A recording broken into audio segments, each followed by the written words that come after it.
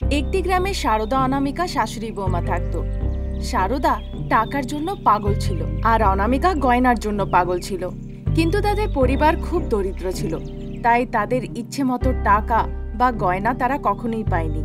সারদার ছেলে রমেশ ক্লার্কের চাকরি করত আর নিজের পরিবারের দেখাশোনা করত। চাকরি করে রমেশ যা মাইনে পেত, তা পরিবার চালানোর মতন পর্যাপ্ত ছিল না। তখন একদিন সারদা অনামিকাকে বলে মা অনামিকা কাল রাত্রে আমি একটা খুব ভালো স্বপ্ন দেখেছি। আমার হাতে অনেক টাকা, টাকার বিছানা বানিয়ে আমি শুয়ে আছি। এমনকি আমার শাড়িটাও টাকা দিয়ে বানানো যে, সেই স্বপ্ন সত্যি হলে কতই না ভালো হবে। আমিও কালকে খুব ভালো একটা স্বপ্ন দেখেছি, কিন্তু টাকা ছিল না তাতে। সোনার বাংলো ছিল, আর সোনার থালায় আমি খাবার খাচ্ছিলাম। সোনার গ্লাসে আমি জল খাচ্ছিলাম। তখনই আমার স্বামী আমাকে সোনার বাক্সতে করে বিরিয়ানি এনে দিলেন। যখন আমি বিরিয়ানি খাচ্ছিলাম, ঠিক তখনই একজন ভিখারি আসে। আমি তাকে এক বস্তা ভরে সোনার বিস্কুট দিই। সে খুব আনন্দিত হয়ে সেখান থেকে গেল। তারপর আমার পালতু কুকুরটা সেখানে আসে। সে যখন হাসছিল, তার সোনার দাঁতগুলো খুব সুন্দর করে চকচক করছিল। অনেক হয়েছে। এবার তোমাকে আমি এখান থেকে ছুঁড়ে ফেলব। এটা কোনো স্বপ্ন? তুমি যদি বলো সব সোনার হয়ে গেছে তোমার খাবারটাও সোনার হয়ে গেছে তাহলে এখনই বলবে সোনার খাবারটা তুমি খেয়ে ফেলেছো। আমি শুনছি বলে তুমি যা মুখে আসবে তাই বলো না। এটা কি মা? আপনি বললেন আমি তখন শুনলাম। আমি এখন বলছি তো আপনি শুনতে চাইছেন না। আপনার স্বপ্ন স্বপ্ন আর আমার কিছুই না। অনেক হয়েছে এবার কাজ করো। এদিকে রান্না করা বাকি আছে। জামা কাপড় কাচতে হবে ঘর দৌড় পরিষ্কার করতে হবে। আমি এক চুটকিতে সব করে দেবো, মা। আপনি শুধু দেখতে থাকুন। অনামিকা সারদা যখন এভাবে বলা বলি করছিল, তখন রাস্তা থেকে মাইকের আওয়াজ শুনতে পায়। সেখানে একটি লোক কিছু একটা বলছিল। সেই লোকটি বলছিল যে আমাদের গ্রামে কোনো মহাপুরুষ আসছেন। তিনি একদিনের জন্য এই গ্রামে থাকবেন। যদি কারোর কোনো সমস্যা থাকে, তাহলে আপনারা গিয়ে দেখা করতে পারেন। শাশুড়ি, বৌমা সেই লোকটির এসব কথা শুনে বাড়িতে বসে বসেই খুব উৎসাহিত হয়ে পড়ে। কালকে কোনোভাবে হোক স্বামীজির কাছে গিয়ে আমি আশীর্বাদ নেব। আমি গিয়ে বলব আমার হাত দুটো যেন টাকায় ভরে যায় এমন কোনো আশীর্বাদ দেন। যখন স্বামীজি আমায় আশীর্বাদ দেবেন তখন আমার হাতে টাকাই টাকা হবে। আমিও কালকে স্বামীজির কাছে যাব আর ওনাকে বলব যা কিছু আমি ছুঁই যেন সেটা সোনার হয়ে যায়। তখন আপনি আমায় দেখবেন। এখন ঝগড়া করে কি লাভ? কালকে আমরা যখন স্বামীজির কাছে যাব তখন আমাদের ইচ্ছে চেয়ে নেব, তখন দেখব কি করা যায়, তাই না? আচ্ছা শাশুড়ি মা, যা বললেন তার ঠিকই, এখন যাই নিজের কাজ করি গিয়ে। শাশুড়ি বৌমা এভাবে কথা বলে, তারপর নিজেদের কাজে লেগে যায়। কিন্তু তাদের দুজনের মনেই ভুল উদ্দেশ্য ছিল। অনামিকা ভাবছিল যেন তার শাশুড়ি মার মনের ইচ্ছে যেন পূর্ণ না হয়। আর সারদা, সেও ভাবছিল যেন বৌমার ইচ্ছে পূর্ণ না হয়। এভাবে দুজনে মনে মনে ভেবে স্বামীজির কাছে যায়। স্বামীজি ধ্যান করছিলেন। যে যা চাইছিল তাকে সে সেই আশীর্বাদ দেয়। যখন সারদা অনামিকা স্বামীজির কাছে যায়, তখন স্বামীজি তাদের সাথে কথা বলেন। দেখো মা, তোমাদের দুজনের মনে অনেক ইচ্ছে আছে, কিন্তু সেই ইচ্ছেগুলো সব আলাদা। তাই তোমাদের দুজনকে আমি একটা কথা বলব। দুটো ইচ্ছের পরিবর্তে আমি তোমাদের একটা ইচ্ছে পূর্ণ করতে পারি। তোমরা নির্ধারিত করো যে কি চাই। আমি তোমাদেরকে পাঁচ মিনিট সময় দিলাম। তাড়াতাড়ি ভেবে বলো। স্বামীজির এরকম কথা শুনে সারদা অনামিকা দুজনেই আশ্রম থেকে বেরিয়ে আসে। তারা নিজেদের মনে গজগজ করতে লাগে। তারপর একে অপরকে দেখে তাদের খুব রাগ হয়। আমি তোমার শাশুড়ি মা তোমাকে আমার কথা শোনা উচিত। তুমি চাইলে আমি কিছু টাকা এনে তোমায় দিয়ে দেবো।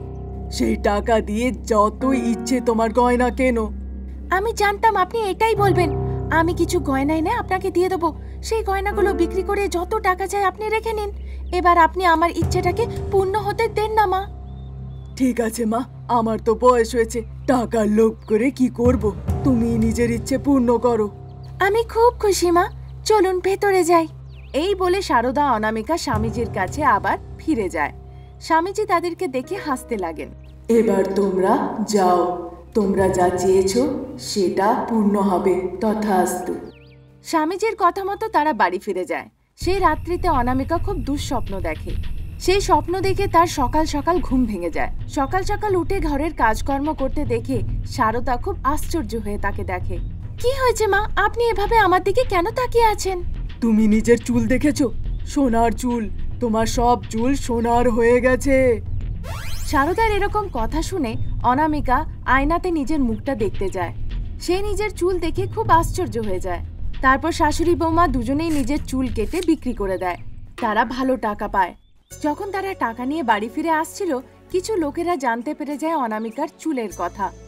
কিছু লোকেরা তাদের পিছু করতে লাগে। আর কিছু লোকেরা তো অনামিকার চুলের জন্য তার প্রাণ নেওয়ার কথাই ভেবে নেয়। এসবের দরকার নেই। এরা তোমার প্রাণই নিয়ে নেবে। তোমার এক্ষুনি স্বামীজির কাছে যাওয়া উচিত। চলো। হ্যাঁ মা তাড়াতাড়ি স্বামীজির কাছে চলুন। এরা যে কোনো সময় আমার প্রাণ দিতে পারে। আমার খুব ভয় লাগছে যে মা চলুন তাড়াতাড়ি চলুন মা। অনামিকা আর সারদা স্বামীজির কাছে গিয়ে বলে তাদের সোনার প্রতি ভালোবাসা প্রাণ নিয়ে নেবে। তাই তিনি যেন তার চুল আবার আগের মতো করে দেন। তা শুনে স্বামীজি হাসেন আর তার চুল আবার আগের মতন করে দেন। দেখো মা, ইচ্ছে তো অনেক থাকে, সেই ইচ্ছে যেটা মনকে আনন্দ দেয়, পরিবারকে সুখ দেয়, সেই ইচ্ছে সব থেকে মূল্যবান। যখন তোমার আনন্দ অন্যদের আনন্দের সাথে জুড়বে, তখন তোমার সব ইচ্ছে পূর্ণ হবে। তাতেই পুরো পরিবারের মঙ্গল হয়। তবেই তুমি সব পাবে। পরিবারের আনন্দেই যে নিজের মনের আনন্দ লুকিয়ে আছে, তাদেরকে সুখী রাখো, তবেই সুখ পাবে। ঠিক আছে স্বামীজি, আর আমি কখনো কোনো কিছুর জন্য লোভ করব না। না আমার টাকা পয়সা চাই, না আমার সোনা দানা চাই, পরিবারের সুখেই আমার সুখ। সেদিন থেকে অনামিকা নিজের শাশুড়ি মার, নিজের স্বামীর খুব ভালো করে দেখাশোনা করতে লাগে। আর কোনো কিছু লোভ না করে সে আনন্দে জীবন কাটায়। একটি গ্রামে শারদা অনামিকা শাশুড়ি বৌমা থাকতো। শারদা অনামিকাকে কখনো কষ্ট দিত না আর তার খুব ভালো করে দেখাশোনা করত। এমনকি রমেশও কখনো নিজের স্ত্রী অনামিকাকে কষ্ট দিত না। শ্বশুরবাড়িতে খুব আনন্দে জীবন কাটছিল অনামিকার। নিজের জ্ঞান আর বুদ্ধির দ্বারাতে সে নতুন নতুন এক্সপেরিমেন্ট করত যেগুলো খুবই ভালো হতো। ফলে সেই গ্রামের লোকেরাও অনামিকাকে খুব পছন্দ করত। রমেশ আর অনামিকার দুই ছোট সন্তান ছিল। যেহেতু তারা খুবই ছোট ছিল তাই তারা খুবই দুরন্ত ছিল। বাবা রমেশ খুব গ্রীষ্ম পড়েছে সাবধানে থাকতে হবে আজ নাকি খুব রোদ্দুর হবে এমনটা খবরে বলেছে। হ্যাঁ মা আমি তো অফিসে চাকরি করি সেখানে এসিও আছে। কিন্তু তোমরা তো বাড়িতে থাকো এখানে বেশি গরম লাগবে তোমাদের। হ্যাঁ বাবা আমি তো গ্রামবাসীদের বলছিলামই যে চলো আমরা গ্রামের গাছ লাগাই। তাদের ভালোর জন্যই বলেছিলাম। কিন্তু কি তারা আমার কথা শুনবে? ঠিক আছে মা। দেখো তোমার বৌমা আসছে। কি হয়েছে মা? কি নিয়ে তোমরা কথা বলছো? আরে মা রোদ্দুর যে বেড়েই চলেছে তা নিয়েই কথা বলছিলাম। শুনেছি এবারে খুব নাকি গরম পড়েছে। ওদিকে একজন বয়স্ক মানুষ রোদ্দুরে বেরিয়ে পড়ে গেছেন। বেচারা পড়ে অজ্ঞান হয়ে গেছে জানেন মা? ঠিক আছে তোমরা দুজনে কথা বলো আমি অফিসে যাই। এই বলে রমেশ অফিসের জন্য বেরিয়ে যায়। তারপর অনামিকার বাজারে কিছু কাজ ছিল তাই সে বাজারের জন্য বেরোয়। বাচ্চারা ঘুমুচ্ছে মা। তুমি বাজারে যাচ্ছ? হ্যাঁ মা। আপনার যদি কিছু চাই তো বলুন। আসার পথে আমি নিয়ে আসব। বাচ্চাদের ওঠার আগে আমাকে আবার ফিরে আসতে হবে। আমারও বাজার যাওয়ার ছিল যে মা। অনেক দিন হয়ে গেছে বাজারে গিয়ে। ঠিক আছে মা। রোদ্দুর খুব বেড়েছে। আপনার কোনো অসুবিধা হবে না তো? না মা। কাজ থাকলে তো যেতেই হবে। আগে রোদ্দুর হলেও কষ্ট হতো না কিন্তু আজকাল খুব কষ্ট হয়। চলো যাই। আচ্ছা বেশ মা তাহলে বাচ্চাদেরকেও সঙ্গে নিয়ে যেতে হবে। আচ্ছা আচ্ছা বেশ মা বাচ্চাদের উঠতে দাও তাহলে সঙ্গে নিয়ে যাব। এই বলে শাশুড়ি বৌমা বাজারের জন্য বেরিয়ে পড়ে। যাবার পথে গাছের তলায় বসে এক বয়স্ক মহিলা তরমুজ বিক্রি করছিল। সেদিন সকালবেলাতেই খুব রোদ্দুর ছিল। তাই ঠান্ডা ছায়ার জন্য সারদা অনামিকার বাচ্চারা গাছের তলায় গিয়ে দাঁড়ায়। এই ভীষণ রোদ্দুরে বাচ্চাদেরকে নিয়ে কোথায় যাচ্ছ? গরম খুব বেশি বাচ্চাদের শরীরের জল শুকিয়ে যেতে পারে। তোমরা কিন্তু সাবধানে থেকো। আপনি ঠিকই বলেছেন আমরা কিন্তু সব জানি নিজের কাজ করুন। বাচ্চাদেরকে দেখে কষ্ট হলো তাই বললাম। কেন রাগারাগি করছ? আমি তো ভালো কথাই বলেছি। আচ্ছা ঠান্ডা তরমুজ আছে খাবে নাকি? না ঠাকুমা। আমার তো কেউই নেই। দুধ আনা অন্যের জন্য আমাকে লোকের কাছে ভিক্ষে করতে হতো। এই বয়সে কাজ করতে পারব না বলে তরমুজ বিক্রি করছি। এখন আর আমাকে কারোর ওপরে নির্ভর থাকতে হয় না। আমি নিজের পায়ে দাঁড়িয়ে আছি। খুব ভালো করেছেন মা। আশেপাশে কোনো শীতল ঠান্ডা জলের দোকান নেই তাহলে আমরা কিছু একটা খেতে পারতাম তাই না? হ্যাঁ মা গরমের চোটে পুরো শরীরই জ্বলছে। তোমরা যদি এরকম বলো বেচারা বাচ্চারা কি বলবে? তাদের জন্য তো আরও কষ্টকর হবে। আমরা তো নিজের মুখে বলতেও পারছি কিন্তু তারা যে বলতেও পারে না। ঠাকুমা তোমাকে বললাম না তুমি নিজের মুখ বন্ধ রাখো। এসব আজে বাজে বলে আমাদেরকে কেন বিরক্ত করছ? যখন সারদা সেই বয়স্কাকে বকাবকি করছিল বাচ্চারা খুব জোরে জোরে কাঁদতে লাগে। গরম সহ্য না করতে পেরে বাচ্চারা কাঁদছিল ফলে অনামিকার খুব খারাপ লাগে। তাকে দুঃখিত দেখে সারদা খুব চিন্তিত হয়ে পড়ে। আরে বাচ্চারা যে খুব কাঁদছে! এখানের হাওয়াটাও খুব গরম ঠান্ডা হাওয়া বইছে না। চলো আমরা বাড়ি ফিরে যাই। আমি অটো খুঁজছি মা। যেই না অটো আমরা পেয়ে যাই তাতে করে আমরা বাড়ি ফিরে যাব আবার। আজ এই পথে কোনো অটোই আসবে না যে। এই রাস্তার শেষ প্রান্তে একটা পুল তৈরি হচ্ছে। শুধু আজ নয় আগামী এক সপ্তাহ এদিকে কোনো অটোই আসবে না। আমরা এদিকে গরমে মরছি আর তুমি আরও বিরক্ত করছ। আমরা কি জিজ্ঞাসা করেছি? হ্যাঁ বলুন। আর যদি একটাও শব্দ বলেছেন আমি এসে মুখ ভেঙে দেব। দেখে নেবেন। শাশুড়ি মা আপনি ওনার সাথে কেন ঝগড়া করছেন? চলুন যাই। হেঁটে যাওয়া বাবা আমাদের জন্য সুবিধাজনক হবে। যদি বাচ্চারা এই গরম সহ্য করতে না পারে তাহলে এর কষ্ট কিন্তু আমাদের পরে অনেক হবে। গরম হাওয়া তাদের শরীর সহ্য করতে পারছে না। আর এই সব কিছু হয়েছে আমার জন্যই মা। মা শুধু আপনারই নয় আমারও খুব বড় দোষ। ভেবেছিলাম বাচ্চাদেরকে তাড়াতাড়ি বাড়ি ফিরিয়ে নিয়ে যাব। তাই তাদেরকে সঙ্গে নিয়ে এসেছিলাম। কিন্তু ভাবিনি যে এরকমটা হবে। খবরে বলেও ছিল যে আজ খুব রোদ্দুর হবে কিন্তু তাও তো অক্কা করিনি।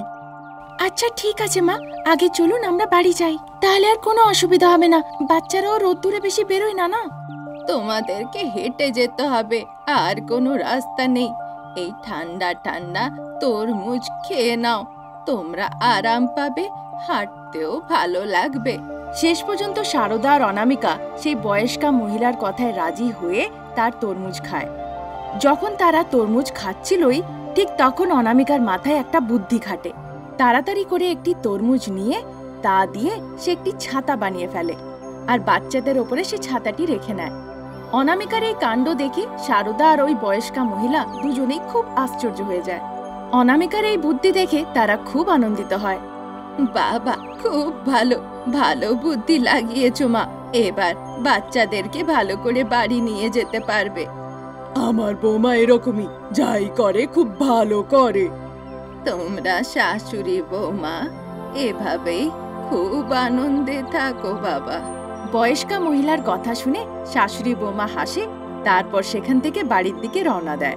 তরমুজ ছাতার নিচে বাচ্চারা ঠান্ডা থাকে আর আরাম করে বাড়ি পৌঁছে যায়। তারপর থেকে আর কখনোই তারা বাচ্চাদেরকে নিয়ে রোদ্দুরে আর বেরোয় না। তারা বাড়িতে রেখে তাদের ভালো করে দেখাশোনা করে। এভাবে অনামিকা নিজের বুদ্ধি দিয়ে এবং নতুন নতুন জিনিস তৈরি করে গ্রামবাসীদেরকে খুব আকর্ষিত করত। শুধুমাত্র নিজের জন্য নয়, নিজের বুদ্ধি খাটিয়ে ছোট্ট ছোট্ট জিনিস তৈরি করে সে গ্রামবাসীদের সাহায্যও করত, যার ফলে গ্রামবাসীদেরও খুব উপকার হতো। ফলে গ্রামবাসীরাও তার খুব প্রশংসা করত, আর এভাবেই অনামিকা আনন্দ সহকারে জীবন কাটাতো।